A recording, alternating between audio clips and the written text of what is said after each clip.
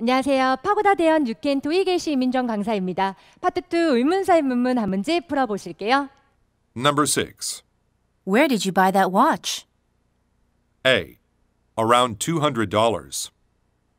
B. Last week. C. Don't you have the same one?